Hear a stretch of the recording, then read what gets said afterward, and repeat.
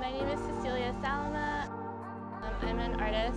Uh, I do sculpture and video mostly. I haven't been in Miami very long, but I love how different all of the neighborhoods are.